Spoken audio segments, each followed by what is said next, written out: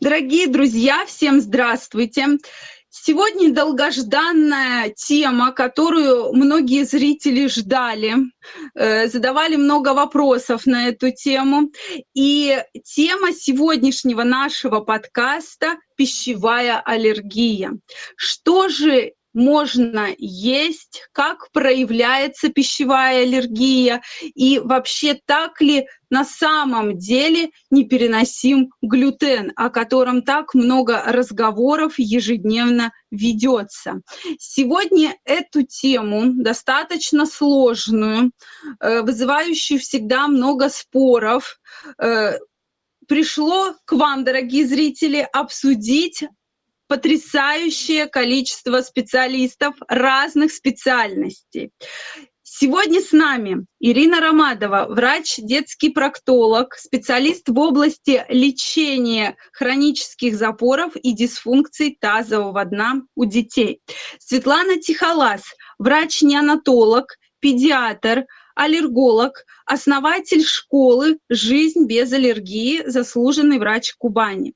Елена Миронова, врач-гастроэнтеролог, терапевт, автор онлайн-школы «Гастрит. Жизнь без боли в животе». Иван Пилипец, э, врач-гематолог, лучший гематолог Москвы 2023 года. Светлана Цветкова, врач-педиатр высшей категории. Анна Белямова, врач-офтальмолог высшей категории, кандидат медицинских наук.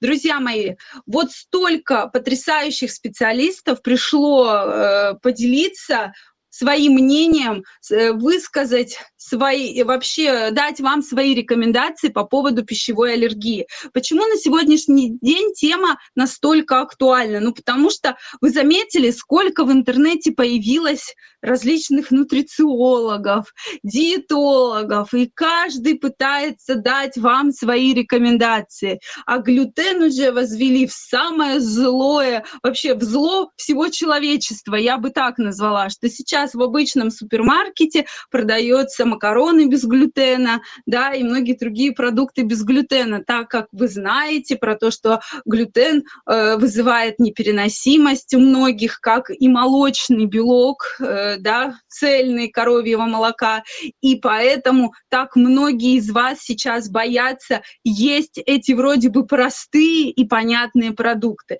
Поэтому эту тему сегодня мы затронем тоже, и почему очень важно обращаться именно к врачам, а не каким-то специалистам, которые вам говорят о том, что все, у вас непереносимость глютена, мы это решили, потому что у вас появились прыщи, и все, вам нужно избавляться от этого глютена. Сегодня вы видите именно врачей на нашем подкасте, как и во всех других подкастах. Все э, врачи имеют э, дипломы о высшем медицинском образовании, соответственно, действующие сертификаты, имеют огромную базу пациентов, которым ежедневно помогают и действительно облегчают жизнь многим-многим пациентам. Также все врачи являются участниками клуба успешных врачей. К мнению и к рекомендациям я крайне рекомендую прислушиваться наших сегодняшних специалистов.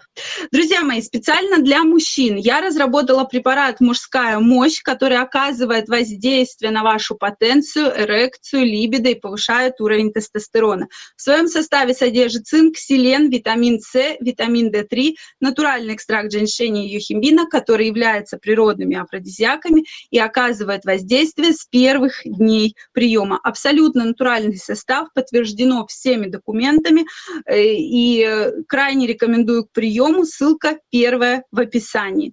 Ну что, коллеги, как часто вы сталкиваетесь с пищевыми аллергиями? И действительно ли так сейчас много проблем, связанных с именно пищевой аллергией. Ирина, передаю вам слово. Да, спасибо, Ольга. Здравствуйте, коллеги, здравствуйте, пациенты, да, слушатели, смотрители, все, кто нас будет смотреть. Вот. По поводу пищевой аллергии э, действительно сталкиваемся и сталкиваемся очень часто. И, наверное, это такая зубная боль в сердце, поэтому очень захотелось сегодня об этом поговорить, осветить данный вопрос. Э, почему? Я как специалист, который э, работает с хроническими запорами, да, и с огромным количеством различных вариантов проявления запоров, с пищевыми аллергиями сталкиваюсь просто вот каждый божий день, прям э, день через день, да, и огромный пул моих пациентов реально имеют непереносимость в той или иной степени. И я уже для себя даже выявила такую градацию, да, что чем младше пациент, тем более вероятно у него аллергия. А, соответственно, с чем это связано?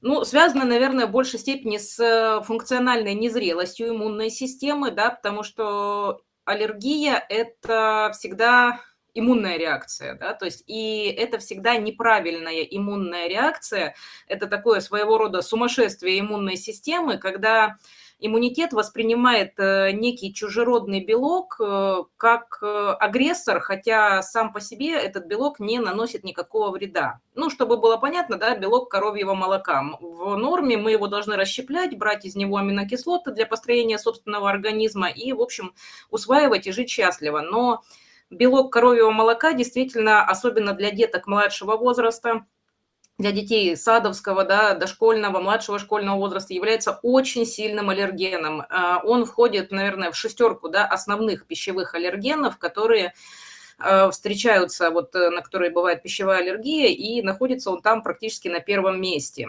А, и иммунная система ребенка в какой-то момент вдруг решает, что этот белок может привести к какой-то, ну, то есть воспринимает его как патоген, воспринимает его как агрессор. И развивается э, иммунная реакция именно на вот этот белок. Э, что мы получаем на выходе? Чем это так страшно, да, почему мы всегда так переживаем по поводу пищевой аллергии? Э, смотрите, когда э, белок попадает в желудочно-кишечный тракт, он контактирует с кишечником. И в стенке кишечника начинает э, под действием этого белка развиваться воспалительный процесс. Воспалительный процесс э, при аллергии всегда течет по типу острого воспаления. Острое воспаление, а, оно провоцирует, э, сопровождается всегда отеком выраженным, да, а, всегда сопровождается нарушением микроциркуляции и, соответственно, нарушением питания тканей. То есть э, мы съели, казалось бы, безобидный продукт, там выпили коровье молоко, а получили огромное э, генерализованное воспаление в кишечнике, и в стенке кишечника нарушается адекватная микроциркуляция, нарушается адекватное питание. В результате этого начинают страдать собственные ткани кишечника, и, как следствие, функция кишечника нарушается. На выходе мы видим э, нарушение функции кишечника, как правило, сопротивляется основ, ну, в основном двумя способами. Да? Это либо запор, либо усиление перистальтики и появление жидкого стула.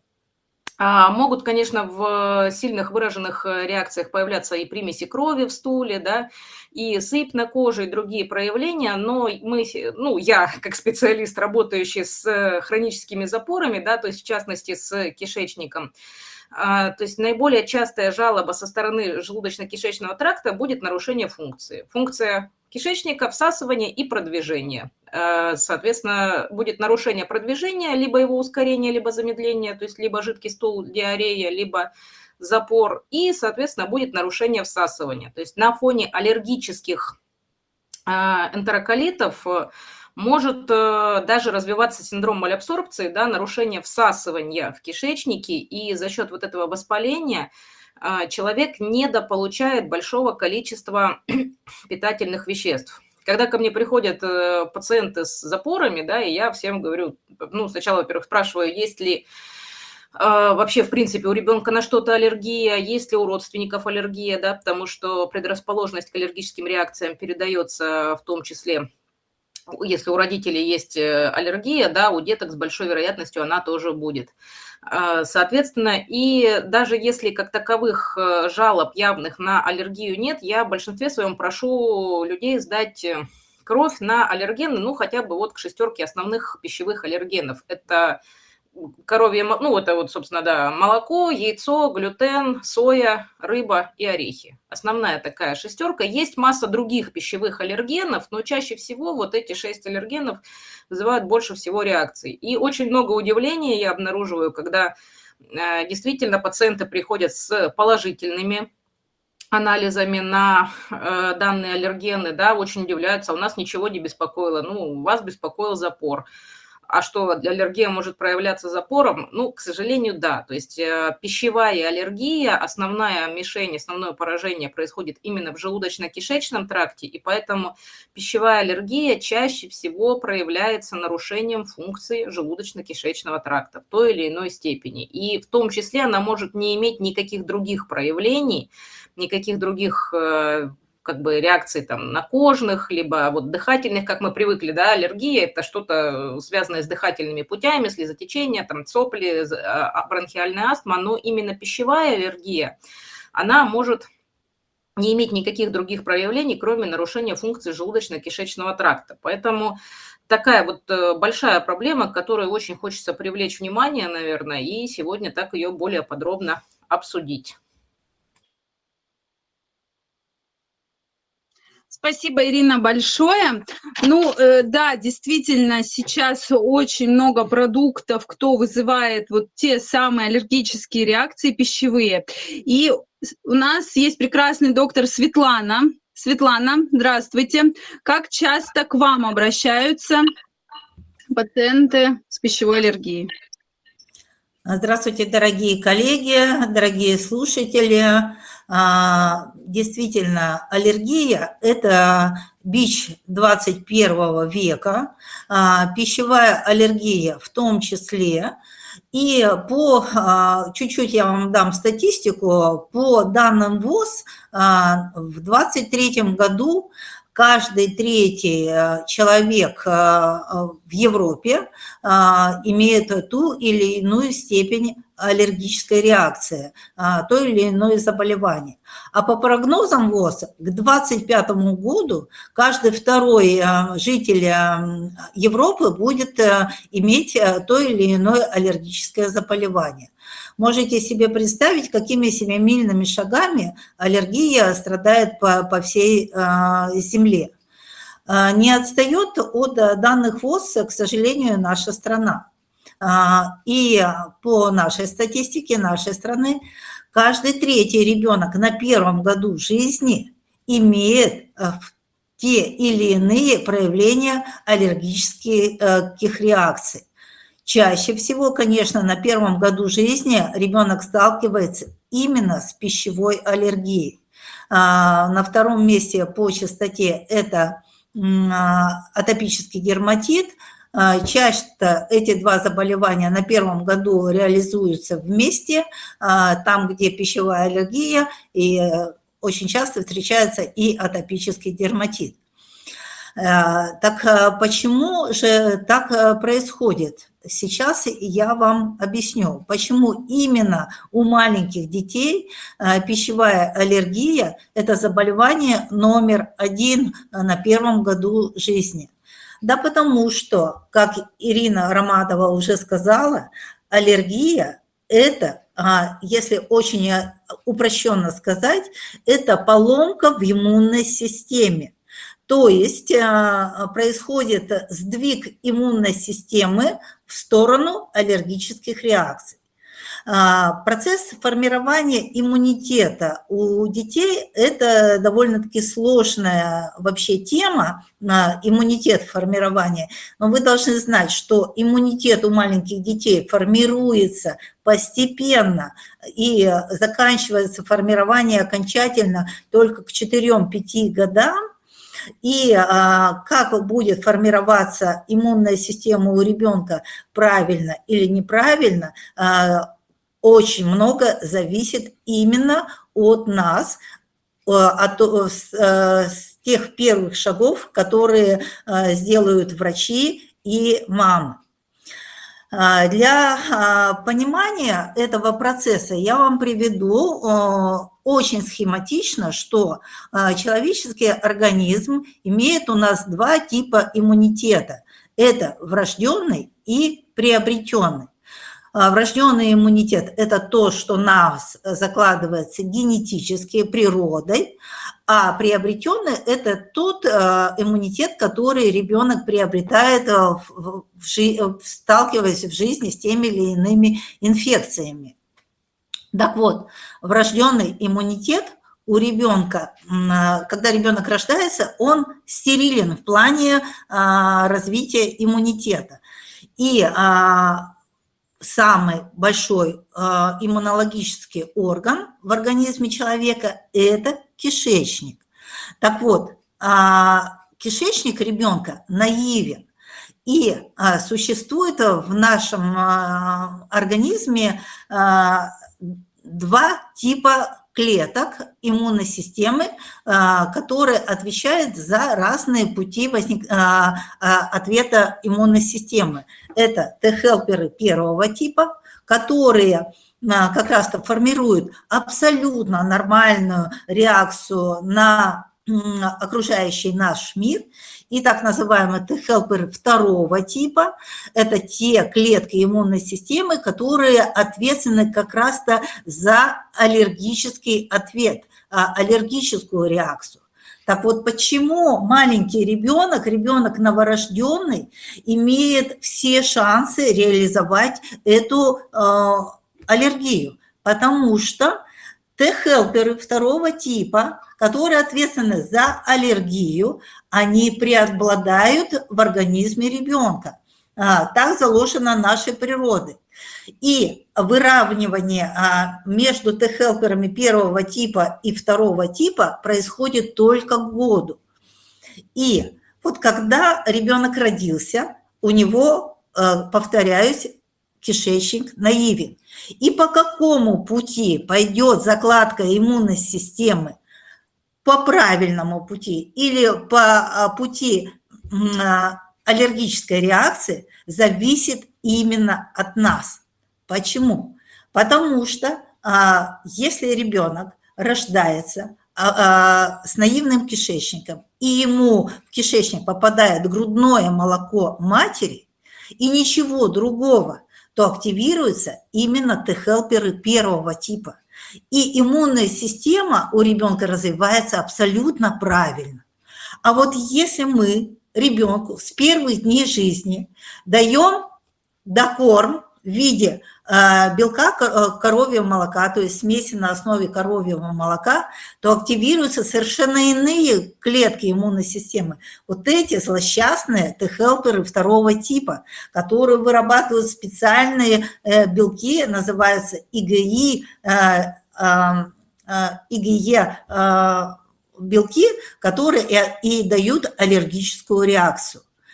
А, и что а, вы наверняка, тот, кто рожал своих детей, прекрасно знаете, что ну, практически нет такой мамы а, в родильных домах нашей страны, которая бы первые дни, находясь в родильном доме, не кормила бы ребенка, не докармливала бы смесью. А это категорически неправильно. Что я хочу вам сказать? Вот в цивилизованных странах, в странах Европы, в странах Америки на государственном уровне запрещено детям первых семи дней, когда идет становление иммунной системы, давать смеси на основе цельного белка коровьего молока. Вот, к сожалению, в нашей стране этого запрета на государственном уровне нет. И как бы ни бились аллергологи, иммунологи не обсуждали этот вопрос на всяких конгрессах, а, симпозиумах. А, а, пока, к сожалению, государство нас не слышит, и на государственном уровне это не запрещено. Конечно же, вы можете а, возразить мне и скажете, а как же, доктор, быть, если а, маме, например, нельзя кормить ребенка грудью по каким-то причинам, или она не в состоянии, или у нее а, какая-то гипогалактия первичная, то есть недостаточно количества молока, и ребенка же нельзя оставить голодным? Да, нельзя э, оставить его голодным, но для этого существуют так называемые профилактические гипоаллергенные смеси, которые только вот эти смеси должны даваться детям в крайнем случае первые 7 дней. Но давайте посмотрим правде в глаза. Так как это смеси дорогие, государство у нас эти смеси в родильные дома не закупает, и а, в родильных домах находится, я сама работаю в родильном доме 38 лет, и в нашем родильном доме нет смеси ГА. То есть гипоаллергенных смесей. И все дети получают э, смеси на основе цельного белка коровьего молока. И что же мы делаем? Мы активируем Т-хелперы второго типа. И, пос, и естественно, э, через месяц, через два мы получаем у детей э, пищевую аллергию. Конечно, в родильном доме мы ничего не увидим. Никаких признаков пищевой аллергии в первые два дня, а, в первые дни, пока ребенок находится в родильном доме, мы не увидим, потому что а, иммунная система только начинает работать, ей нужно время, чтобы выработать эти а, а, иммуноглобулины э, класса И для того, чтобы эта пищевая аллергия проявилась.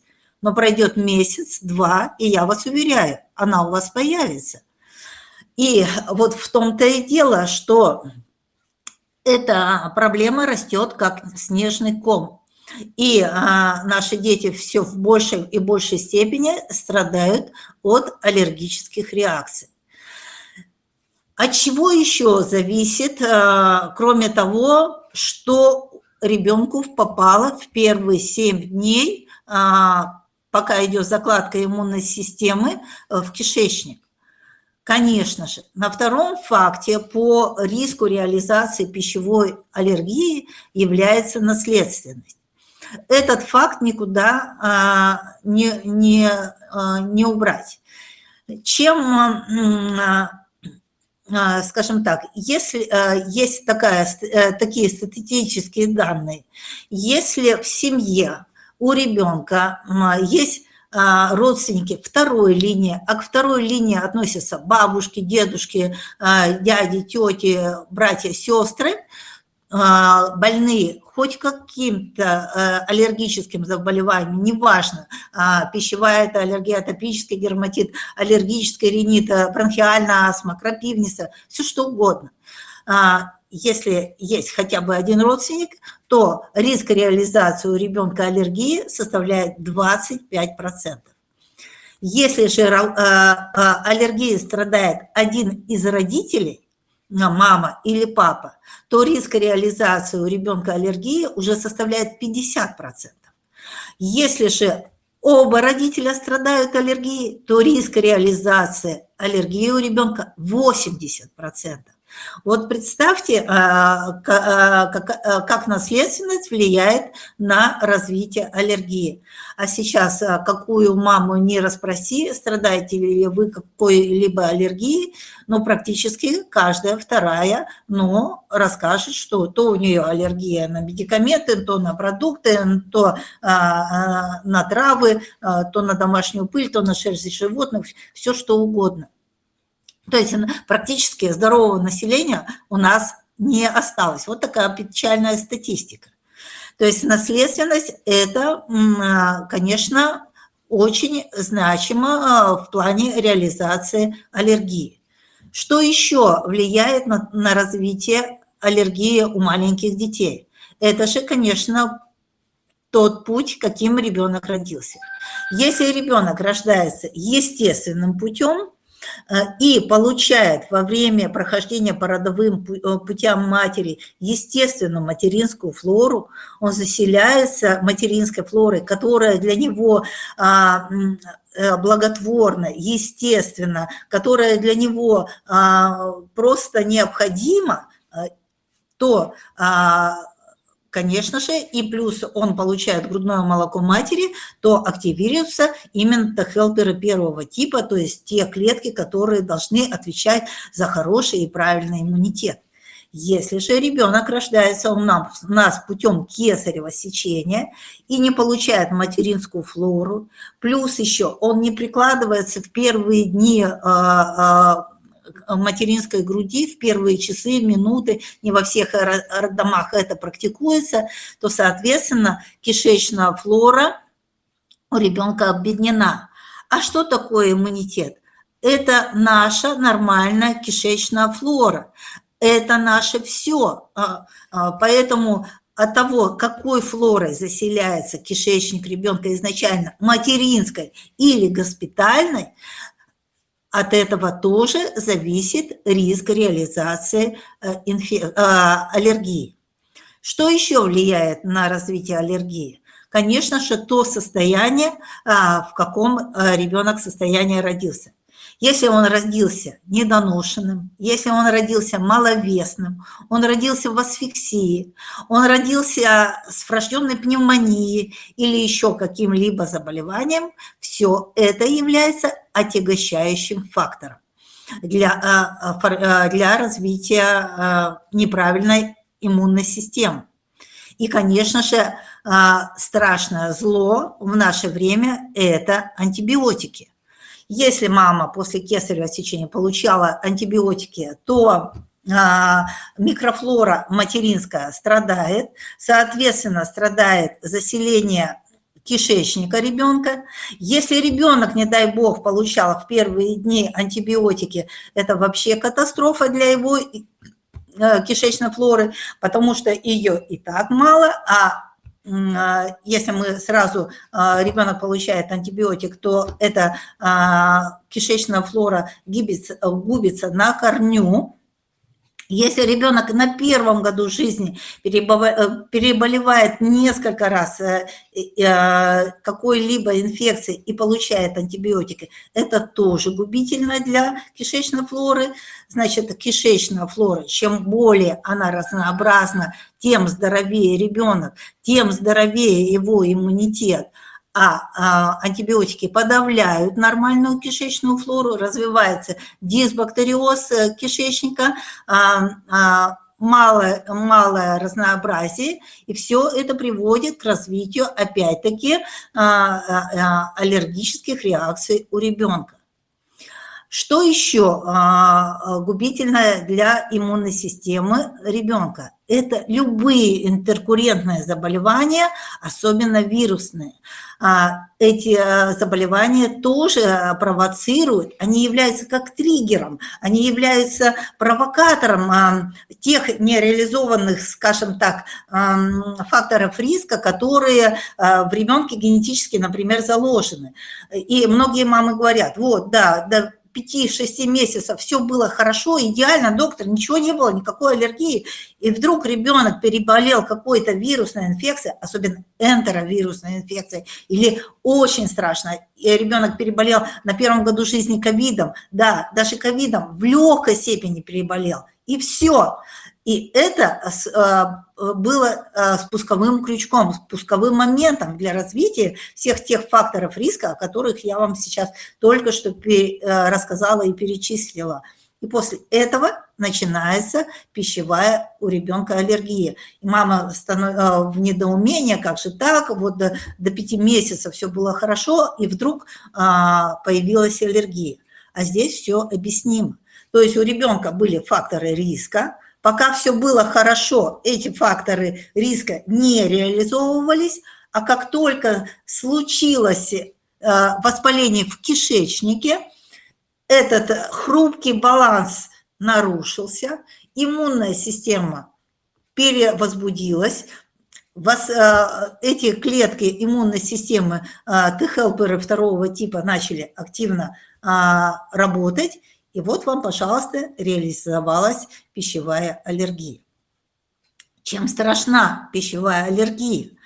Она является у нас а, не только, а, скажем так, а, ухудшает качество жизни ребенка в том плане, что мама не знает, чем его накормить, что ему дать, как сбалансировать белки, жиры, углеводы. Ребенок недополучает э, микроэлементов, потому что молока нельзя, а с молоком это кальций. Что делать, как быть, чтобы ребенок гармонично развивался. Но что еще делает пищевая аллергия? Она запускает так называемый аллергический марш. Что это такое?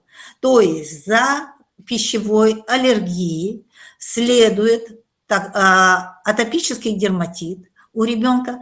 На фоне атопического дерматита, когда через нарушенный кожный барьер начинает про, про, а, попадать а, в кровь ребенку э, контактным путем аллергены и вызывать еще большую сенсибилизацию организма. Потом к этой атопическому дерматиту присоединяется аэроаллергены, те аллергены, которые попадают к нам уже через респираторный тракт, через нос, через рот, через трахею и в легкие, и у ребенка начинается так называемая аллергия на шерсть э, животных, э, на, на аллергия на э, клещей домашней пыли, потом присоединяются аллергия на цветущие травы, сорные, пыльцу деревьев, развивается полиноз или сейчас это называется аллергический ринит. А далее процесс опускается все ниже и ниже в легкие, у ребенка появляется обструкция бронхиального дерева, и в итоге уже к двум-трем годам, о ужас, мы получаем у ребенка бронхиальную астму, гормонально зависимое хроническое заболевание, от которого ребенок уже не может а, скажем, избавиться всю оставшуюся жизнь. И самая катастрофа в том, что а, вот эта бронхиальная астма, если вот 20 лет тому назад а, бронхиальная астма у маленьких детей, ну, встречалась, ну, практически единично, то сейчас у двух-трехлетних детей это сплошь и рядом.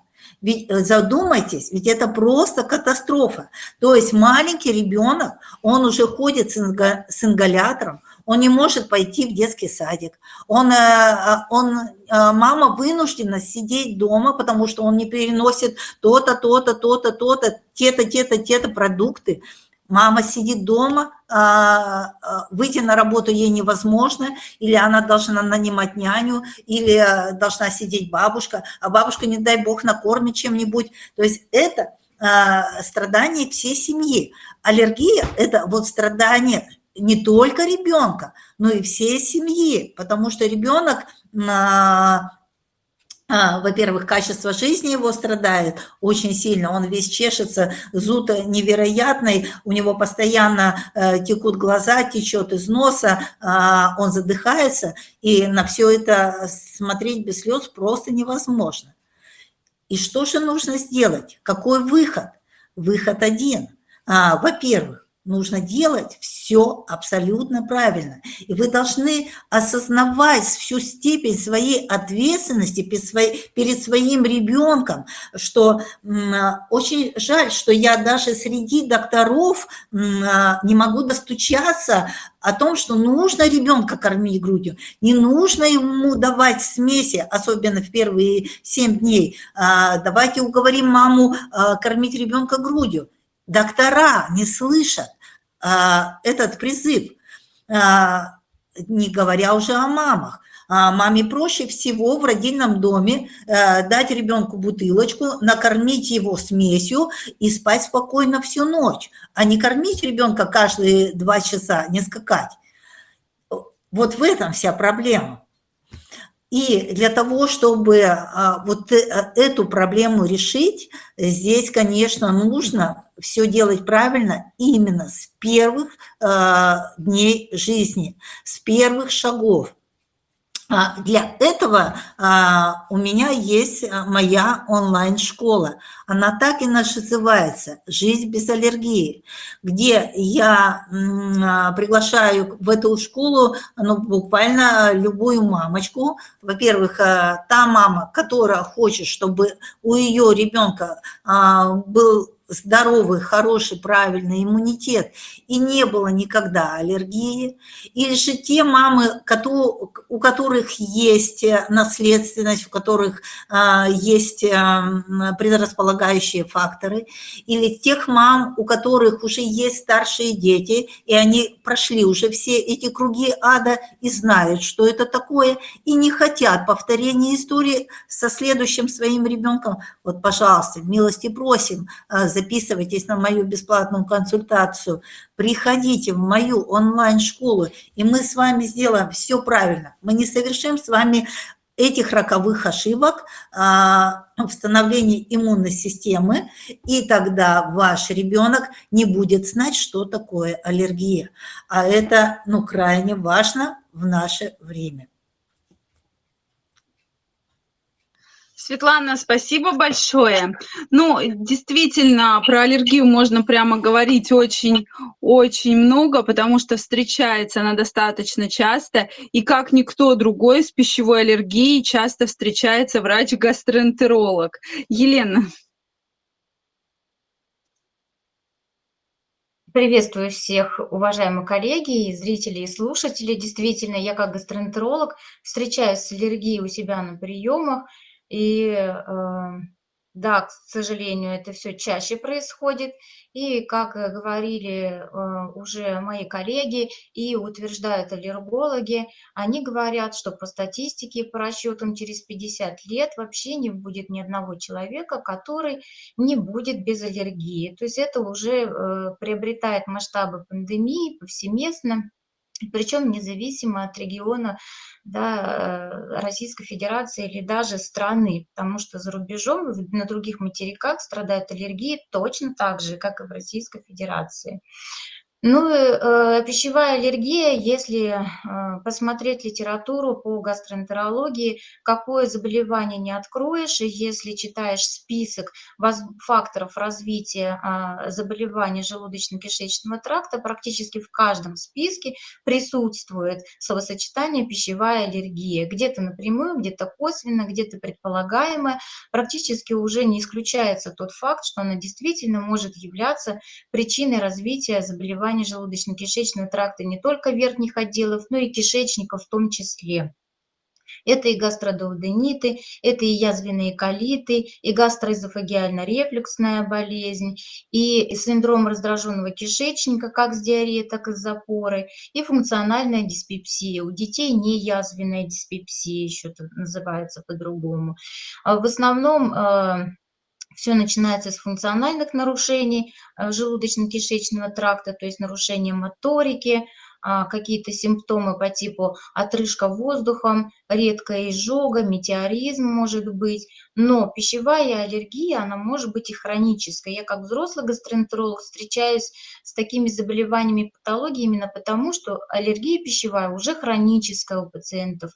При расспросе, даже при сборе анамнеза уже выясняется, помимо того, что у родственников, у ближайших есть аллергия, и даже человек может прийти, взрослый, э, значит, да, девушка или женщина, и сказать, что у нее даже у ребенка тоже уже аллергия с детства есть, это тоже имеет место быть. А, недавно вот на приеме, буквально у меня пару дней назад была девушка, которая сказала, что я страдаю задержкой стула до трех дней, это запоры. А как давно вы ими страдаете, этими запорами? Она сказала, что с детства ситуация не улучшилась даже после родоразрешения, после гормональной перестройки, у меня до сих пор это продолжается по три дня, у меня стула нет, и мне приходится применять даже слабительные препараты. То есть здесь тоже у пациентки мы сейчас э, ведем диагностический поиск, и не исключается наличие хронической пищевой аллергии. Здесь э, скорее всего, мы ее направим на консультацию, я ее направлю на консультацию к аллергологу для исключения а, аллергии. Там уже будем проводить комплексную терапию. Я как гастроэнтеролог буду проводить терапию по лечению заболеваний желудочного и кишечного тракта, элиминационная терапия от аллерголога, которая может, конечно, успешно завершиться. Почему повреждается желудочно-кишечный тракт? Как уже сказали мои коллеги, циркулирующие иммунные комплексы, антитела, антигены, они притекают стоком крови в слизистую желудочно-кишечного тракта. Причем неважно, какой это отдел а, желудочно-кишечного тракта будет. Вот в каком месте а, они скопятся, куда проникнут, где разовьется воспаление – а, заболевание этого, этой части желудочно-кишечного тракта у нас э, будет манифестировать, мы будем видеть клинику именно этого органа. То есть если это будет слизистая двенадцатиперстной кишки, то это будет дуоденит, а чаще всего сочетанная гастродуоденит. В гастроэнтерологической практике вообще пришли к выводу, что именно пищевая аллергия явилась омоло, э, причиной омоложения заболеваний желудочно-кишечного тракта, в частности гастродуоденит, который стал стал выявляться у детей в возрасте 6-10 лет.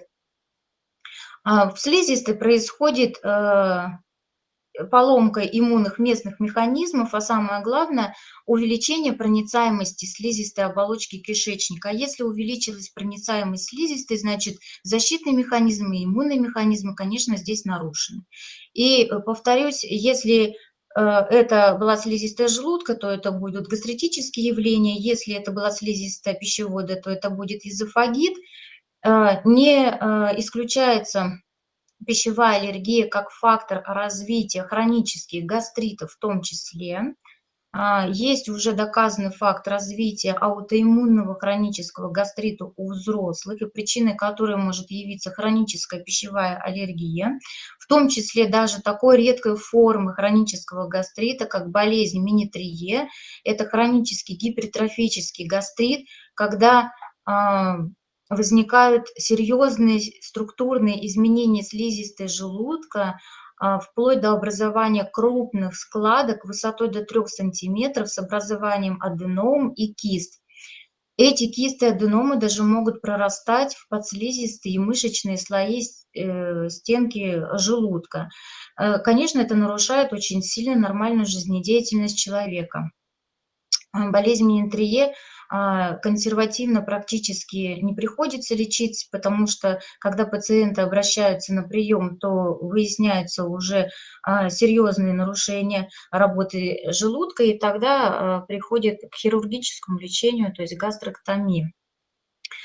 Поэтому что что делаю да, я на своем приеме? Конечно, а, можно заподозрить у пациента такую аллергию уже из анамнеза. Во-первых, а, сбор анамнеза у пациента, он касается и сбора аллергического анамнеза обязательно. Иногда бывает нетипичная, не совсем типичная картина, а, клиническая картина заболевания с которой пришел пациент, и можно уже заподозрить, и э, совместное лечение комплексное с врачами-аллергологами, она приводит э, к улучшению самочувствия пациента. В своей онлайн на своем онлайн-курсе «Гастрит. Жизнь без болей в животе», в том числе а, мы исключаем наличие аллергических каких-то механизмов возникновения заболевания гастроэнтерологического профиля, и э, успешно лечим заболевания, тем самым улучшаем качество жизни пациента, потому что качество жизни, конечно, страдает, помимо того, что человек не знает, что есть, а для некоторых это оказывается огромным открытием, потому что они всю жизнь ели все подряд, они никак не подозревали, что именно тот продукт, который они употребляли практически ежедневно, явился причиной тех же, того же самого банального запора. А, а он с детства ест этот продукт и не знает, что на него аллергия. А с, э, исключение банальное этого продукта из питания э, приводит уже к улучшению самочувствия пациента. Воспалительный процесс будет уменьшаться. Потом симптоматической терапии можно добиться длительной даже ремиссии. Поэтому я вас призываю ни в коем случае не терпеть дискомфорт и боли в животе. Обязательно обращайтесь к врачу-гастроэнтерологу. А, я также провожу бесплатные консультации, записывайте, ссылка будет под видео этого подкаста. Спасибо, Елена. Э, ну, сейчас хочется продолжить все-таки тему аллергических реакций и передать слово гематологу. Иван. Добрый день, коллеги. Добрый день, уважаемые зрители и слушатели. Я как врач-гематолог, да, конечно, могу подтвердить все слова коллег и сказать, что действительно пищевая аллергия может действительно очень сильно испортить настроение и вызвать сильнейший дискомфорт у пациентов. Я сам знаю, о чем говорю, имею две пищевых аллергии. Первое, это я об этом узнал на праздновании Нового года. Это были марокканские мандарины. И второе, это было на поездке на юг в городе Ростов-на-Дону при употреблении раков. Соответственно, была аллергия, которая появилась зудом и покраснением. Поэтому первое, конечно, что стоит сделать, если вы столкнулись э, с аллергии пищевой – это исключить э, аллерген, который вы уже точно знаете, что на него есть аллергия, соответственно, и принять противоаллергические препараты. Они должны быть в аптечке, если вы едете в какую-то дальнюю поездку, в общем-то, чтобы избежать таких случаев. А, конечно же, обязательно, когда поступает ко мне пациент на прием, я всегда спрашиваю, есть ли у него родственник, которые страдают аллергией. То есть или у него самого есть полинос, или бронхиальная астма. То есть уже вот эти моменты могут нас натолкнуть на множество мыслей, которые, в общем-то, могут повлиять на тактику ведения пациента. Провоцирующие факторы также являются заболевания желудочно-кишечного тракта, печени и желчевыводящих путей. В общем-то, в основе пищевой аллергии лежит повышенная чувствительность э, и повышенный иммунный ответ на конкретный пищевой аллерген. В общем-то, мы всегда доктора спрашиваем, есть ли у пациента аллергия на какой-либо продукт, либо на какое-либо лекарство. И всегда нужно сказать об этом вашему доктору, к которому вы пришли на прием, потому что это очень важно, если проводится анестезия, либо, условно говоря, обсуждается вопрос диеты, чтобы вы обязательно сообщили доктору, что вы кушаете и на что у вас есть аллергия. В общем-то, а, часто это цитрусовые орехи. Очень много сейчас э, в современном мире продуктов с консервантами. Поэтому, а, конечно же, на это нужно обращать внимание, фиксировать, что у вас на конкретный продукт есть пищевая аллергия. Проявления аллергии могут быть самыми различными. Это зуд, покраснение, в общем-то, крапивница, отек слизистых, расстройство ЖКТ, вплоть до запоров, диареи и так далее. Конечно же, самым грозным осложнением это бывает отек квинки, но это такие уже самые крайние проявления аллергии, в общем-то, но это практически жизнеугрожающее состояние, которое требует обязательно обращения до э, госпитализации в стационар. В общем-то, по анализам крови, как доктор-гематолог, очень часто могу увидеть признаки аллергии. Это повышение эозинофилов, С-реактивного белка и иммуноглобулина Е. Если я вижу такие изменения, конечно же, мне уже понятно, что у пациента есть аллергия. В общем-то, уточняю всегда статус, на что аллергия. В общем-то, и в этой ситуации, конечно, надо детально разбираться. Если вы столкнулись, э, соответственно, имеете пищевую аллергию, столкнулись, например, с анемией железодефицитом, с ней сталкивается практически каждая вторая женщина в России. В общем-то, лучше в этой ситуации, конечно, рекомендую обращаться к гематологу. Почему? Потому что очень часто у пациента с пищевой аллергией наблюдаются проблемы с желудочно-кишечным трактом. И препараты железа в этом состоянии очень сильно могут усугубить данную проблему. В общем-то, вызвать еще более сильные запоры. И очень часто в ситуации, когда у человека и так есть нарушение по желудочно-кишечному тракту, требуется коррекция анемии, железодефицита внутривенными формами введения препаратов железа. А тут без доктора, конечно, не обойтись. Поэтому всех приглашаю на консультацию, у кого есть а, проблемы, в общем-то, связанные с анемией, железодефицитом. Ссылка под описанием этого видео будет на мою личную страницу. Всех приглашаю.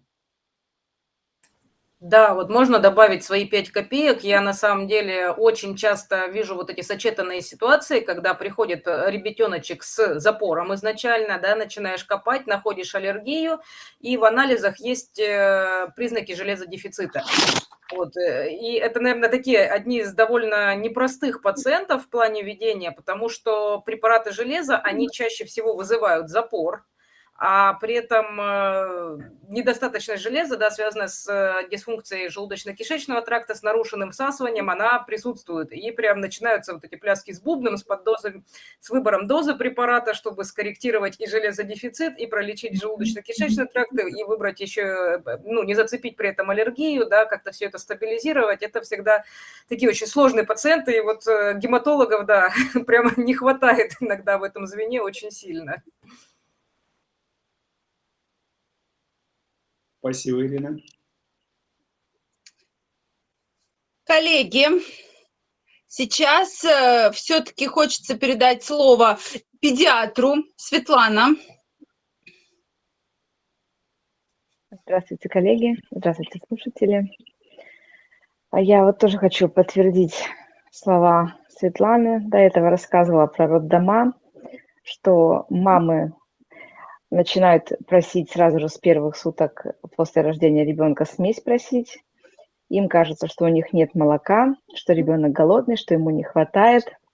И все время приходится очень долго их переубеждать, объяснять, э, почему этого делать не нужно, и рассказывать, как именно э, настраивается лактация, и что ребенку хватает этих нескольких капель молозива, которые вырабатываются в первые сутки. Это очень непросто, но это действительно такая серьезная проблема. Также, вот, наверное, очень много пропускают от такой аллергии, особенно на белок коровьего молока, участковые педиатры. Потому что очень часто ко мне уже приходят мамы на консультацию, только когда появились такие серьезные э, уже симптомы, как кровь в стуле ребенка. А до этого, вот недавно тоже на приеме была мама, они два месяца с малышом мучились. Она думала, что это просто колики. Ночами ребенок не спал, плакал. А, жидкий стул был, то запор, то вот жидкий стул и самое главное, выраженное беспокойство. Они все это списывали на колики. Ребеночка на руках носили по очереди, то она, то муж, то бабушка приезжала.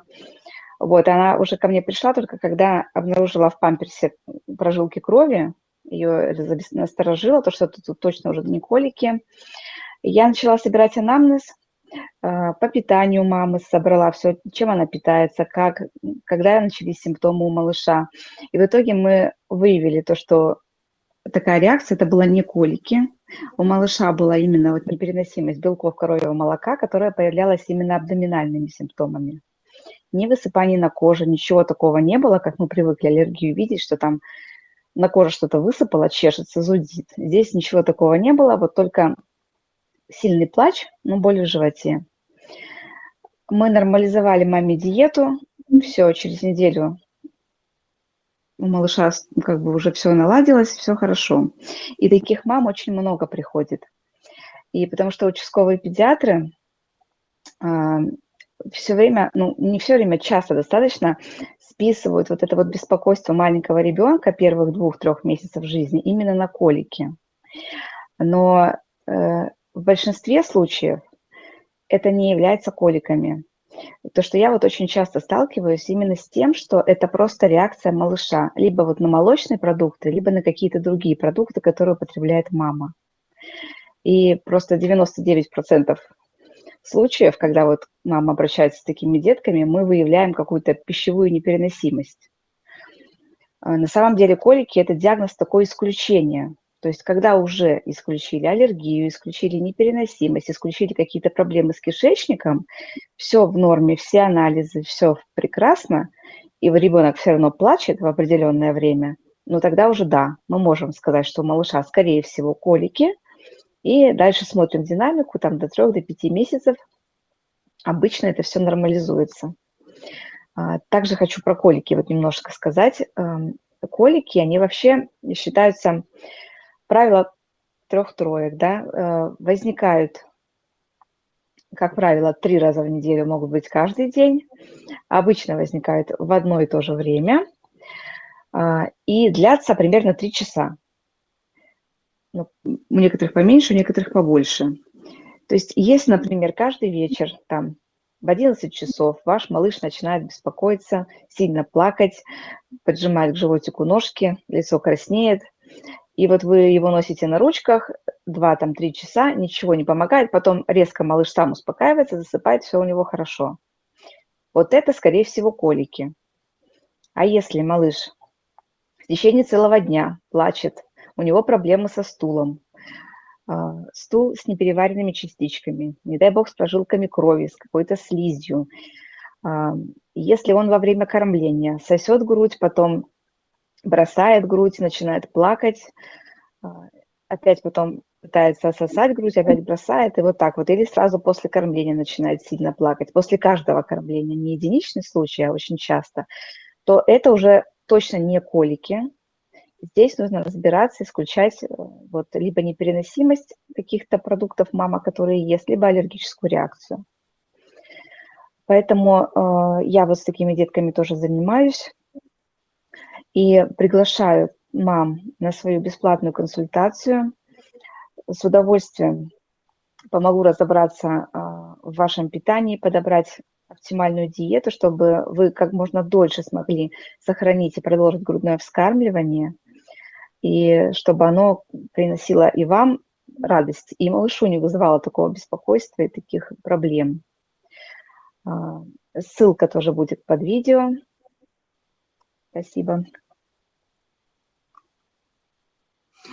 Коллеги, э, да, спасибо отдельно за то, что затронули тему роддомов и питания да, в роддомах. Это прямо особая тема, особая проблема. Я вижу, как женщины даже ну, не пытаются научиться кормить правильно грудью, сразу берут смеси, если им эти смеси не дают, возникают разные конфликтные ситуации, что у меня ребенок хочет есть, а вы моему ребенку не даете нужной еды, и, на мой взгляд, это прям целая проблема. А потом, как оказывается, именно отсюда и начинаются, да, все проблемы-то основные. Вот, поэтому, дорогие зрители, вот на этом нужно делать а, особый акцент, на это нужно обращать внимание. Если вам врач говорит, что нет, нельзя, давай корми, все-таки нужно прислушиваться. Сейчас в роддомах есть инструктора по грудному вскармливанию, которые помогают. Есть бесплатные молокоотсосы, да, которые даются женщинам, если нет возможности там купить или приобрести свой. Вот. И, э, конечно, это больно, это неприятно, но, тем не менее, вот сегодня вам уже несколько врачей подтвердило тот факт, что если не будете кормить грудью, будут действительно серьезные проблемы. Другой вопрос, когда там нет молока, да, это уже совершенно другая история. Или там нет возможности кормить, да, какие-то были проблемы с молочной железой у женщины. Или там ребенок находится, да, там в отделении реанимации, там в кувезе, и то вводят, да, с помощью катетеров грудное молоко. Поэтому обращайте на это особое внимание. Ну что, друзья, мы продолжаем. И сейчас э, хочется дать слово Анне Белямовой. Анна, здравствуйте. Добрый вечер, уважаемые коллеги, слушатели, зрители. Э, мне вот эта тема очень откликается. Я не могла пропустить э, нашу сегодняшнюю встречу, потому что эта тема касается лично меня и моих пациентов. Э, о себе могу сказать, что знаю об аллергии очень-очень много, потому что сама страдала, и все то, что мои коллеги говорили, это все и про меня в том числе. Знаю отлично, что у моей мамы э, в послеродовом периоде были проблемы со здоровьем, не буду говорить какие, потому что почему-то наше поколение, наших родителей, бабушки и дедушки очень многие вещи умалчивают и не рассказывают, но я считаю, что это неправильно эм, дети, внуки должны знать э, свою историю да, и наследственность, потому что такие же ситуации могут происходить с их дочерьми, либо с их э, внуками. Поэтому нужно быть готовыми к тому, что эта история может повториться. Я какое-то время получала искусственное питание, и вот эти все истории, которые сегодня доктора рассказывали про аллергию, про проблемы – это все как бы и про меня в том числе. Очень хорошо помню все вот эти вот походы к аллергологам. А, любая э, кровососущая тварь, которая пролетала мимо меня и до сих пор, она вот просто мимо не проходит. Если э, кого-то просто укусили и э, как бы пролетело это кровососущее насекомое дальше, то у меня все это как бы очень бурно, ярко и очень сильно. И пищевая, и лекарственная аллергия – Поэтому я об этом могу а, не понаслышке рассказать, и все это как бы на себе прочувствовала. Это действительно так. Но сейчас, э, имея медицинское образование, я понимаю многие вещи, понимаю многие механизмы, поэтому могу э, разбираться со своими проблемами и с проблемами моих пациентов. Кто в большинстве случаев обращается к офтальмологу с такими жалобами, как аллергические реакции. В основном к нам приходят пациенты, у которых э, чешутся веки. Вот, э, казалось бы, парадокс. Пациент жалуется, что у меня очень выраженный зуд век. На самом деле веки спокойные абсолютно. Нет э, ни воспаления, ни покраснения, ни выделений, никаких, никаких-то там корочек. Но пациента это беспокоит. Когда начинаешь выяснять проблемы, причины, а, с чем сам пациент связывает, да он, пожалуй, и может и не ответить на эти вопросы. И э, я в основном считаю, что все же это проблема желудочно-кишечным трактом. Потому что, как правило, начинаешь выяснять, либо это запоры, либо это проблемы с желчным пузырем, когда недостаточно хорошо расщепляется пища, либо это какие-то гастриты, либо это рефлюксы, изжоги, Эм, нарушение диеты, это длительные запоры. Вот, кстати говоря, сегодня у меня на приеме была пациентка как раз вот с полным комплектом таких жалоб. 42 год рождения, женщина родилась, ну, грубо говоря, под оккупацией немцев.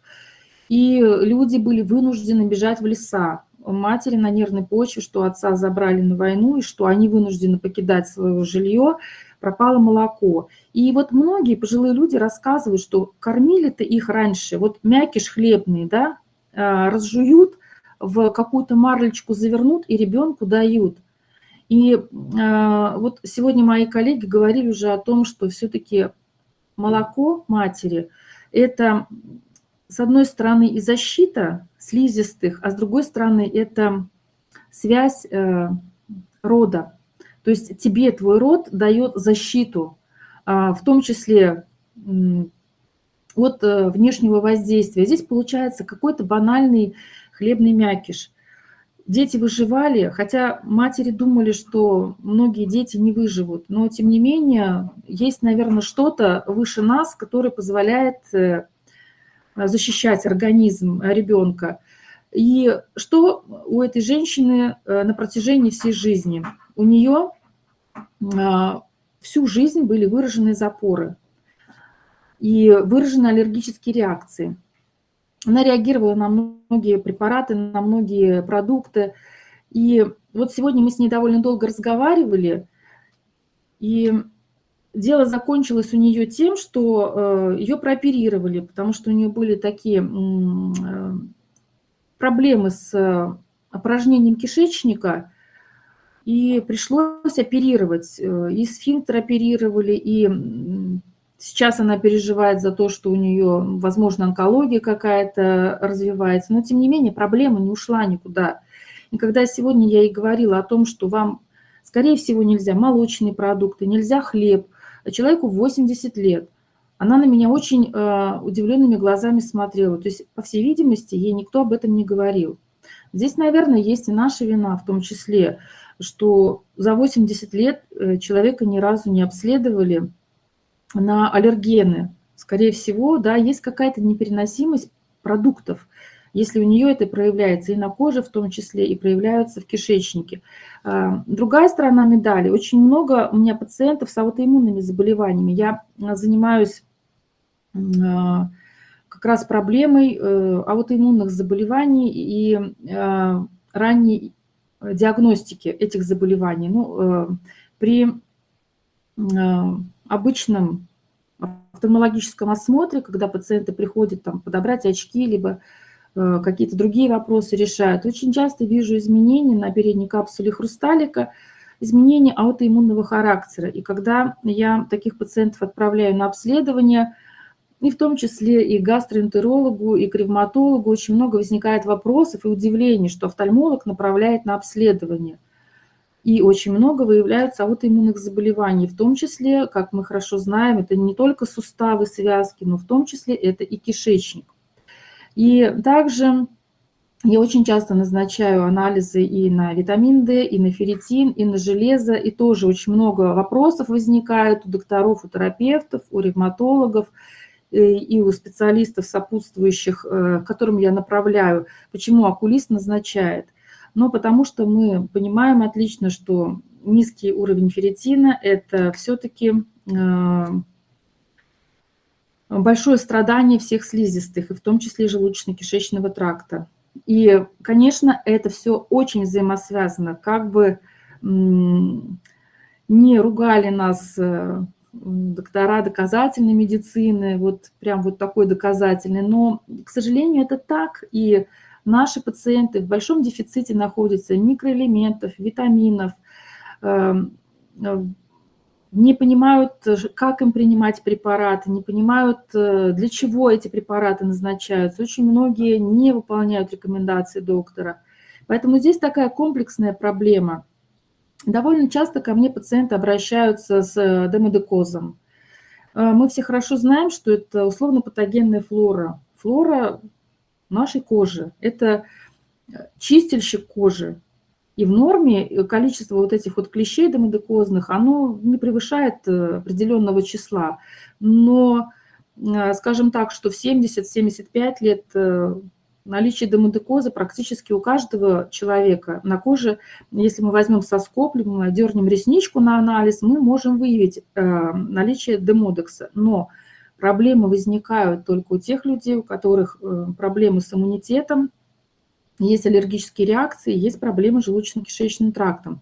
Поэтому я в своей практике с этим сталкиваюсь очень э, часто. Такие пациенты, они вот бродят от доктора к доктору, пытаются э, найти того доктора, который может им помочь. Приглашаю, пожалуйста, приходите, готова с вами общаться, обследовать вас, э, выяснять причины, почему у вас именно так происходит с веками, с глазами, почему чешется, почему не проходит. Довольно такая сложная история для того, чтобы все эти моменты понять, диагностировать и направить к нужным специалистам. Конечно, не всегда и не все мы можем назначить назначить полную э, панель на аллергены, но мы можем предположить, на что, э, как правило, возникает реакция. Например, реакция может быть на обработку сухофруктов, либо каких-то ну, обычных фруктов свежих, да, когда обрабатывают либо парафином, либо какими-то веществами, которые позволяют не портиться продукту. А может быть, сам продукт э, э, наш пациент будет переносить э, без каких-то аллергических проявлений. Опять-таки бывают перекрестные аллергические реакции, когда на один продукт нет аллергии, а если, допустим, пациент эм, съел шоколадку, мандарин, потом какой-то молочный коктейль и что-то еще э, сверху с, оре... Э, с присыпкой из орехов, э, может возникнуть аллергическая реакция. Здесь в каждой ситуации нужно разбираться. Еще хотела рассказать такую историю. У меня как-то раз пришла на прием девушка, которая жаловалась на то, что у нее чешутся глаза. Они действительно у нее были красные. И она была довольно раздражена, и что я так много вопросов ей задаю, что вот вы мне назначите что-нибудь, и я пойду. В итоге долго мы с ней беседовали, и выяснилось, что она в течение полутора лет после родов принимает витамины для беременных. И когда она это сама озвучила, и у нее пауза, у меня пауза, и она говорит, я поняла, я что-то делаю не так. То есть здесь как бы не бывает мелочей, не бывает каких-то ненужных вопросов. Э, когда это проговариваешь вслух, и ты понимаешь, что что-то не так, а, то, наверное, вот в этом и заключается наше мастерство, как докторов, э, докопаться до истины, потому что у нее вопросов не возникало, она пьет эти витамины и пьет. А то, что у них есть определенный какой-то ну, период приема, у нее даже мысли такой в голове не было. Здесь, конечно, очень а, все интересно. Я прошу своих пациентов, чтобы они вели дневник аллергии, чтобы они записывали, на какой на продукт, либо на какой препарат, какая произошла реакция. Вижу, конечно, недовольство, неудовлетворение от того, что что-то нужно делать. Но а, по факту все события, которые происходят в нашей жизни, они очень быстро забываются. Конечно, там что-то э, какой-то препарат выпил, либо какой-то продукт употребил, э, из-за которого допустим, произошли высыпания на коже, то очень все быстро забывается. Но если, конечно, это был не анафилактический шок и не отек квинки. Поэтому здесь, вот, э, на мой взгляд, не бывает мелочей, и многие вещи взаимосвязаны. Не будем забывать, что кишечник – это второй мозг, и он, конечно, реагирует на микроорганизмы, которые попадают, он реагирует на продукты, которые попадают, на токсины – мы все очень хорошо знаем, что если есть длительный запор, то какая интоксикация в организме, да, она может тоже запускать какие-то каскадные реакции а, и вызывать э, аллергические проявления. А, опять-таки, тотальное увлечение сахаром, глюкоза, это тоже не полезно для нашего кишечника, для нашей микробиоты. Я вижу молодых людей, которые страдают от акне и не могут отказаться от фастфуда, от газировок слишком сладких. И здесь, конечно, на мой взгляд, вот эта история и ведение пациента, она должна начинаться еще с того момента, как э, женщина ждет ребенка. Работа прежде всего с ней. Иногда бывает так, что наши женщины играют роль детей, которые вынашивают ребенка, но и вот те же моменты, когда отказываются кормить грудью, такие ситуации бывают, ко мне приходят такие пациенты в сопровождении своих супругов, Моя жена не хочет кормить ребенка, потому что боится, что она испортит красоту своей, своей э, груди. Э, это же психологическая проблема, правда же? Ну, э, с этим надо работать и работать на в том периоде, когда еще вынашивает она ребенка. И дальше вот этот каскад реакций, я отказываюсь кормить, то есть как бы психологически я, может быть, э, отказываюсь да, от своего ребенка, от своего продолжения – это ну, серьезная такая проблема. Это работа и психологов, и э, гинекологов, и работа педиатров, когда ребенок рождается. Здесь, мне кажется, чуть больше, чем просто вот как бы аллергическое проявление. Здесь э, все в комплексе работает. И для того, чтобы эту проблему решать, э, врачи всех специальностей должны работать сообща. Наверное, было бы здорово, если бы был какой-то, а, ну, была какая-то, не знаю, как назвать, ассоциация, либо группа а, сопровождения беременной женщины на а, этапе подготовки к беременности, ведения беременности, родов и дальше наблюдения ребенка. Ну вот мне видится это таким образом, мне кажется, что это было бы максимально правильно и максимально логично да, для того, чтобы рождались здоровые дети. Конечно, э, должно быть финансирование и, э, как вот Светлана говорила сегодня, вот э, этими смесями роддомов, да, действительно бывают ситуации, когда у женщины пропало молоко, либо это какая-то стрессовая ситуация, потому что мы все живем в социуме, у нас у всех что-то происходит, либо это физиологическая какая-то проблема – для того, чтобы вот э, снизить э, максимально вот эту вот аллергическую нагрузку. Э, на мой взгляд, это так. Я как бы больше даже и с физиологической такой, психологической поддержкой готова выступить. А если у вас есть какие-то вопросы, вас беспокоят аллергические проявления блефориты, либо демодекс. Это, кстати, тоже очень серьезная психологическая проблема. У меня э, несколько пар было супружеских, которые буквально были на грани развода, потому что друг другу бросали обвинения, что ты меня заразил, нет, ты меня заразил. И довольно сложно было объяснить, доказать людям, которые не слышат, как, как, которые находятся в каком-то конфликте, что это ну, не, не то заболевание, которым можно там наградить, либо заразить, вот в том понимании, как а, как люди это транслировали. Поэтому жду вас на консультации. Э, ссылка на профиль, на соцсети будет под этим видео. Приходите, помогу, чем, э, чем могу. Да, можно я еще включусь в разговор? Просто Анна затронула очень такую интересную тему. Очень мне понравился случай с э, пациенткой, да, которая страдала запорами, а, которой пришлось пережить несколько операций, при этом ее до сих пор никто к 80, да, там, с небольшим годам так и не обследовал на аллергию. У меня, ну, помимо того, что я просто, в принципе, всех обследую на аллергию, я тоже часто сталкиваюсь с ситуациями, знаете, когда пациент мучается с запорами длительно, а, его обследовали уже со всех сторон, простите, засунули во все места, что можно было засунуть, но никто не, не додумался вот просто выяснить по поводу аллергенов. А потом а, ты сдаешь, там приходит вот такой вот список, э, все это, ну да, это тяжело исключить, да, это определенная проблема перестройки образа жизни, перестройки образа питания, перестройки головы под восприятие своего нового образа питания и так далее, но реально проблема решается. И когда вот уже приходят э, пациенты, страдающие запором более 10 лет, а, вот просто, знаете, вот такими, они, они приходят, не папка это, не знаю, зашибить можно с анализами, и ты там не видишь обследования на аллергены. Мне вот, честно говоря, непонятно, потому что э, меня почему вот э, триггернуло, да, вопрос ее оперативных лечений. Почему люди с запором доходят до операции?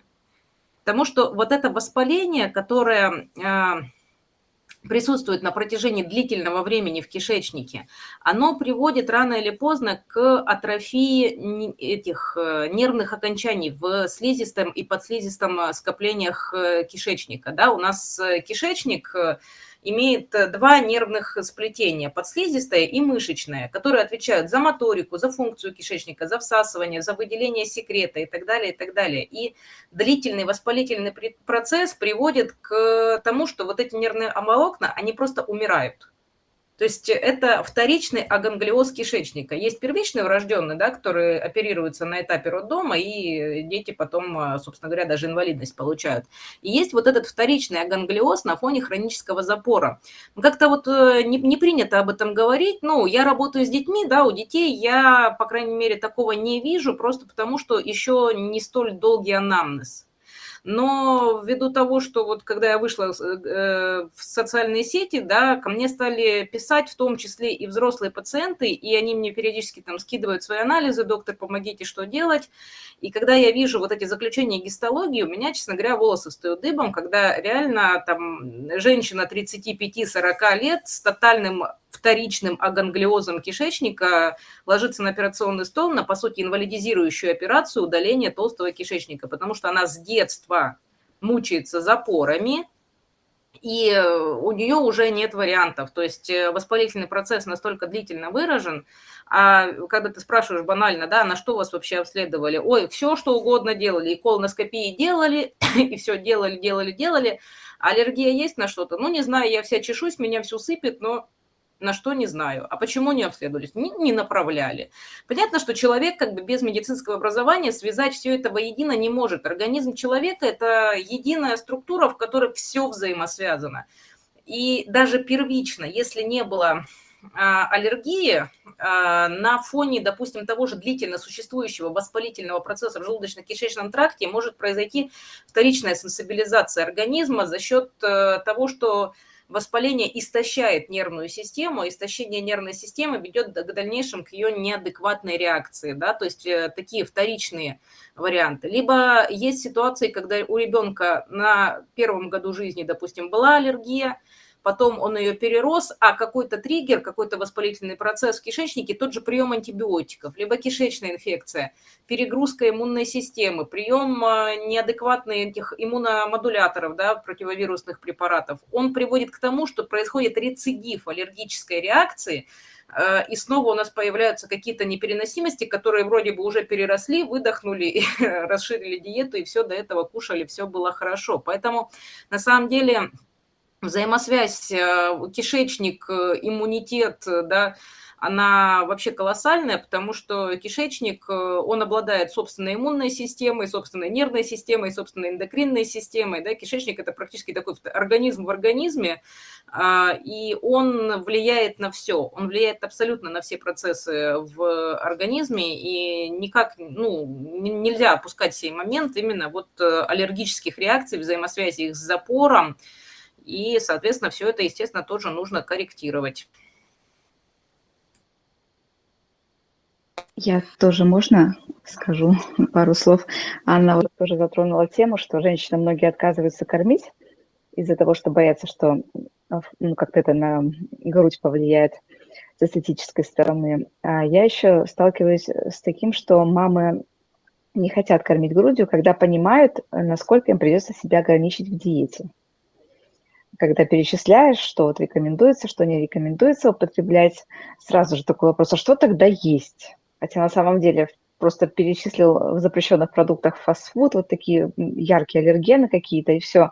Остается еще много полезной еды, но как бы так как у нас очень мало людей питаются правильно, вот эта вот культура питания правильного, она очень сильно страдает, поэтому, соответственно, сразу же вопрос такой, что что, голодом получается сидеть? То есть о большинстве полезных продуктов мамы даже не знают.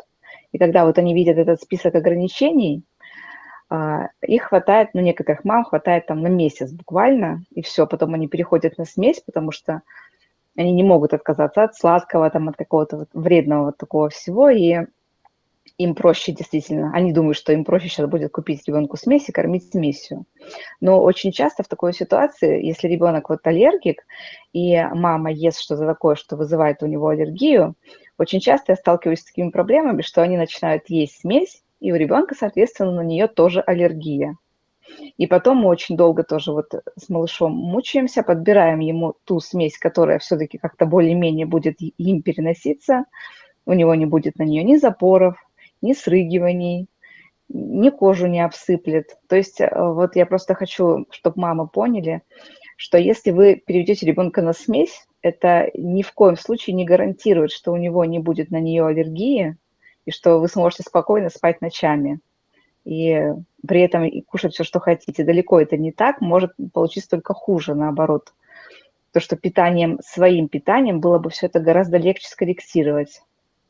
Я просто раз уж коллеги тоже поделились тут своими историями, да, у кого что, я тоже могу поделиться. У меня просто двое детей, и э, старшему сыну 6 лет, маленькой вот сейчас 3 месяца.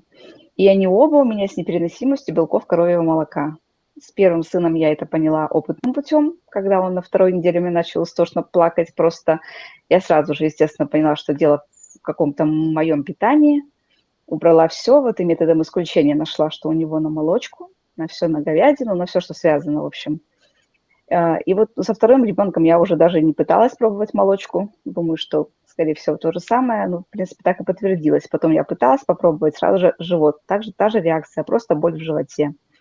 Ни сыпи, ничего. А, поэтому об этой непереносимости я знаю очень много. Диета, это, конечно, получается такая очень ну, строгая, не строгая, но такая очень, конечно, серьезная диета, потому что э, вот если даже магазин, по магазину пройтись, любые продукты взять, э, и там везде есть как минимум какая-нибудь сухая молочная сыворотка. И все, то есть они уже отпадают. В мясных продуктах, даже не говяжьих, э, печенье там, ну, понятно, сладости там вообще про это э, речи нет. То есть очень много везде, где есть вот эта вот молочная сыворотка сухая или какие-то вот э, продукты, содержащие белок крови молока. Поэтому это, в принципе, серьезное испытание первые два месяца. Потом становится легче, но когда ты понимаешь пользу грудного вскармливания для твоего ребенка, вопрос побыть на диете там полгода-год, он ну, не стоит вообще. Потому что как уже коллеги сказали, формирование иммунитета начинается в кишечнике. Поэтому чем мы его заселим, как максимум мы, сколько мы усилий приложим, то мы и получим потом с нашим ребенком. Поэтому постараться стоит, потерпеть немножечко стоит, потому что до рождения малыша мы кушали все, что хотели, когда хотели, и после завершения грудного вскармливания вы также сможете вернуться к своей обычной любимой пище. Ну, перестройка питания – это, наверное, вообще такая больная тема, потому что очень много зависит вообще от э, восприятия человеком, да, я просто много работаю пациентов именно с перестройкой питания, да, вот, э, вот эти большие удивленные глаза, когда ты перечисляешь, что, собственно говоря, ну, список продуктов, которые тормозят перистальтику при запоре, которые нельзя употреблять, и все а что мы будем есть?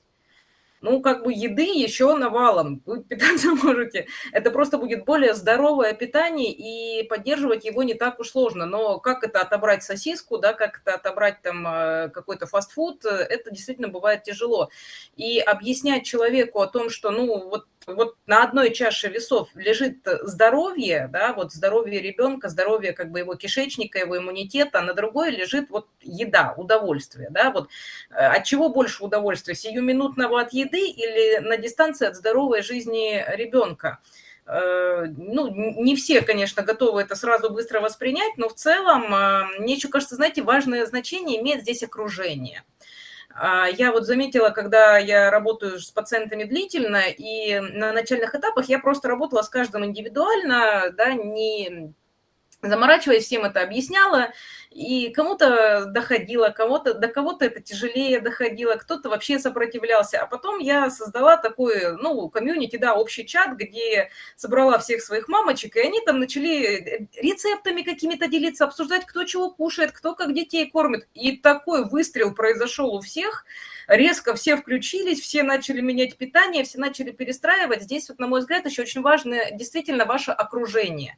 То есть если вас поддерживают вот в том, что вам необходимо там, сохранять грудное вскармливание, да, менять э, рацион питания, вам будет гораздо легче, и это реально прям э, даст хороший толчок и хорошую возможность э, это все перестроить не так болезненно, не так тяжело.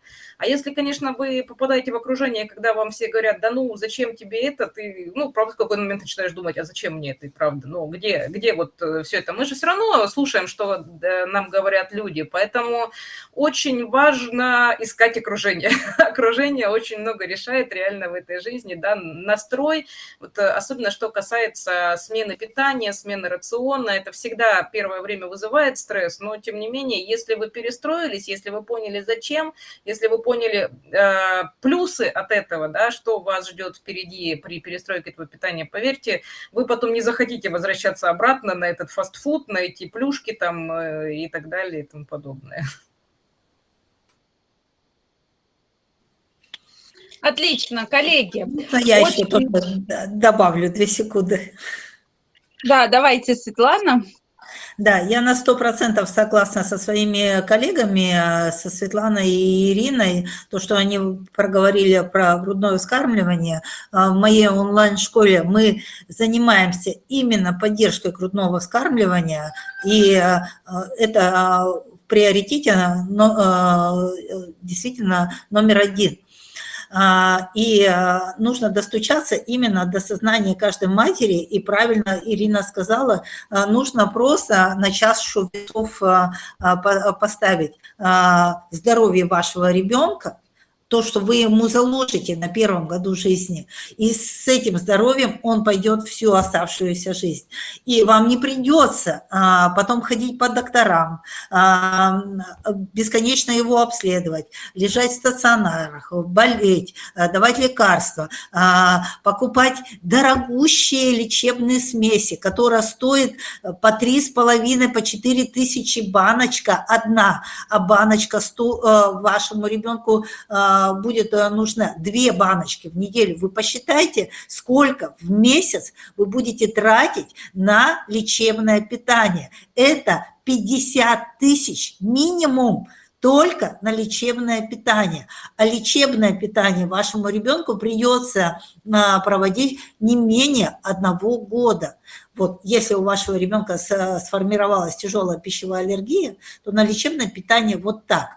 А, то есть а, а, грудное вскармливание – это в приоритете, и вы посчитаете не только как бы пользу, но и экономическую выгоду. А, то есть нужно это осознавать, насколько тяжело и дорого а, стоит а, лечить ребенка с пищевой аллергией.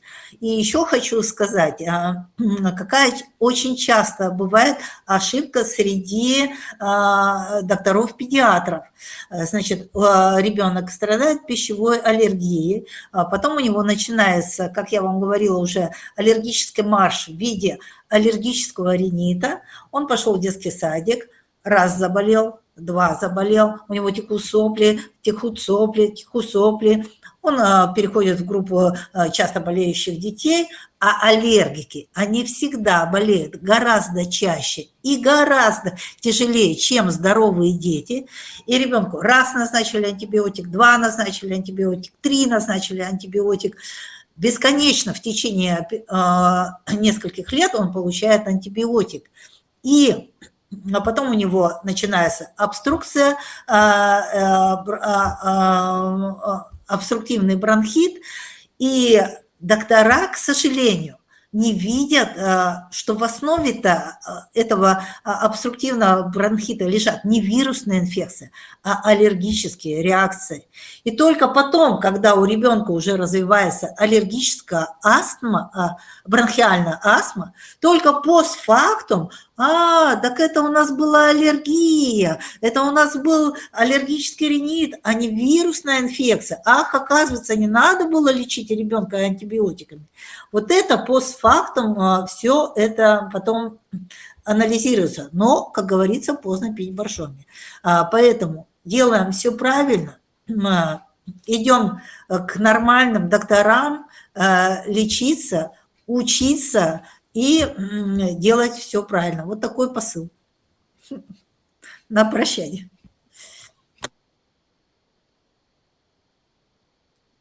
Коллеги, спасибо большое. Было действительно сегодня очень много полезной и супер полезной и супер интересной информации. Напоследок хочу от каждого из вас буквально две рекомендации, что вы порекомендуете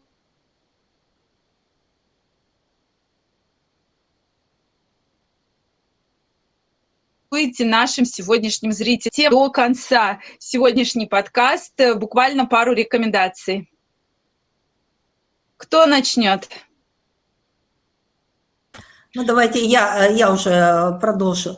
Э, вот всем мамочкам, которые готовятся стать мамами, я вас просто заклинаю, пока вы находите в родильном доме, пока у вас первые семь дней, не давайте детям э, смеси на основе цельного коровьего молока. Мы вам уже сейчас это популярно, но практически на пальцах объяснили. Пожалуйста, кормите своих детей грудью, вы для этого шли 9 месяцев. Э, для вас ребенок желанное создание, любимое и желанное. Так сделайте для него то, что вы в состоянии сделать. Дайте ребенку здоровье. Избавьте его от аллергических реакций. Да, ну, можно я тоже свои пять копеек, ой, перебила, извините. Э, если вдруг вы все-таки чувствуете, что у ребенка что-то не так с желудочно-кишечным трактом, вам это не, если вам это кажется, вам это не кажется, значит, нужно бить тревогу. Это ненормально, если ребенок не ходит в туалет. Это ненормально, если ребенок плачет и кричит, да, и у него все эти боли, колики. Это ненормально, если он сидит на горшке вот с такими большими глазами и не может прокакать плакаться, и не надо ждать, что оно само пройдет. Пожалуйста, э, приходите, да, все доктора, все, все здесь ссылочки под этим видео в описании, запоры, проблемы с аллергиями, да, с железодефицитами, с гастритами, с глазами, со всем чем угодно.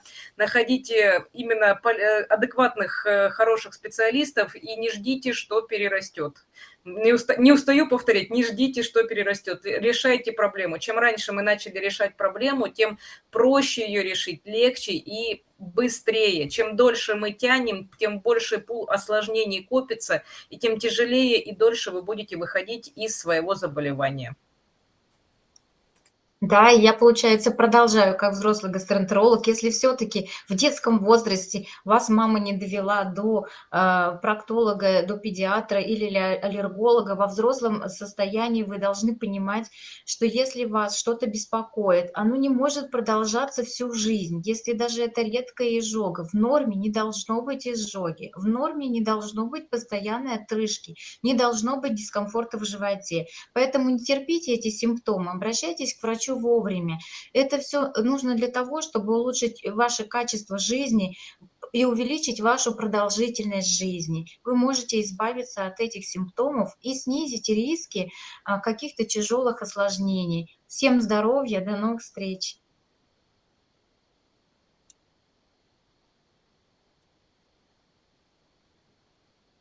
Коллеги, огромное всем спасибо за сегодняшний подкаст. Мне кажется, он был очень полезным для наших зрителей и слушателей. От себя хотел бы порекомендовать нашим зрителям обращаться к тем специалистам, которые принимали участие в этом подкасте.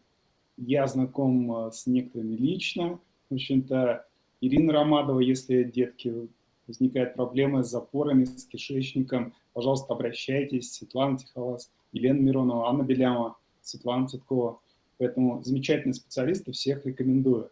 От себя могу сказать второе, что если увидели изменения в анализах крови, почувствовали, что что-то не так, это точно не так. Ну, в общем-то, если снижен гемоглобин, ферритин, по нормативам Американской ассоциации гастроэнтерологов рекомендует 45, Наша клиническая рекомендация 40-60. Если увидели цифры ниже, значит точно и проблема есть. Вот, соответственно, и к доктору на консультацию. Ссылки на мои социальные сети будут под описанием этого видео. Всем всего доброго, будьте здоровы. Коллеги, большое спасибо за приятную э, компанию и за интересные э, сообщения. А, для наших слушателей э, я хочу сказать следующее. Пожалуйста, не стесняйтесь своих жалоб. Приходите к доктору и рассказывайте. Бывает довольно часто, что задаешь один и тот же вопрос, но с разными нюансами, и только с десятого раза – вы решаетесь рассказать, что вас беспокоит. Вы же для этого приходите к нам. Вы можете прийти онлайн, вы можете прийти очно. Подготовьте свои вопросы, потому что все равно, как бы, как бы вы уверенно себя не чувствовали, все равно есть некий страх белого халата. Можно растеряться, что-то забыть. Поэтому рекомендую, подготовьте вопросы, то, что вас беспокоит. Отвечайте искренне и открыто, потому что э, доктор всегда на вашей стороне. Он хочет вам помочь. И когда вам кажется, что вам задают какие-то глупые вопросы, э, это далеко не так. Доктор пытается выяснить, что все-таки происходит с вашим организмом и максимально помочь вам. Э, потому что мы все не просто так пришли в эту профессию, мы пришли для того, чтобы вам помогать. Мы, может быть, в сию секунду не готовы ответить на ваш вопрос, но пройдет какое-то время, мы найдем вам специалистов, которые помогут именно в этом профиле, да, что вас беспокоит. Гематолог, либо гастроэнтеролог, либо проктолог, либо педиатр. А, мы всегда готовы делиться контактами тех докторов, которых мы хорошо знаем, которым мы доверяем – Поэтому будьте искренне открыты, ведь от того, насколько вы открыты в беседе с доктором, зависит ваше выздоровление, а, зависит то качество жизни, а, с которым вам будет приятнее а, жить эту жизнь. Потому что когда человек болеет и есть проблемы, то запоры, то аллергии, то чешется, то зудит, конечно, и качество жизни страдает. И препараты, которые вы принимаете, они тоже могут вызывать какой-то негатив, либо сонливость. Поэтому чем искренне вы будете э, на приеме у доктора, тем доктор вам максимально может помочь в вашей ситуации. Э, приходите очно, онлайн. Мы всегда вам рады и готовы вам помогать. Здоровья!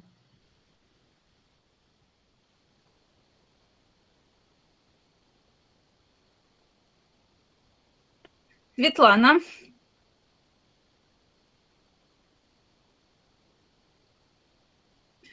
Так, дорогие зрители, я думаю, что сегодня вы получили огромное количество действенных и полезных рекомендаций. Я крайне рекомендую вам прислушаться э, к врачам, Сегодня было много-много советов, много рекомендаций, много пожеланий, поэтому прислушивайтесь э, к данным рекомендациям, их выполняйте. Если у вас есть проблемы, терпеть не стоит, нужно вовремя обратиться к врачам. Еще раз напоминаю, что сейчас э, достаточно много разных э, нутрициологов, там, диетологов, которые не имеют высшего образования и медицинского, да, именно. И я считаю, что не могут назначить правильное лечение, дать правильные рекомендации. Всех врачей, кого вы видите сегодня и в других наших подкастах, именно являются врачами, имеют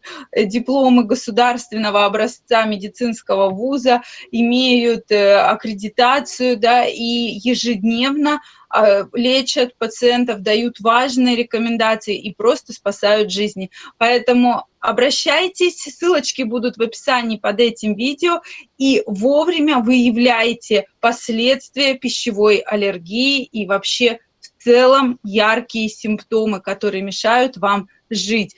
Коллеги всегда вам помогут. Э, ссылочки на их странички будут в описании под этим видео. Ну и мужская мощь для мужчин также на страже вашего здоровья. Ссылка в описании. Всем спасибо и до новых встреч. Пока-пока.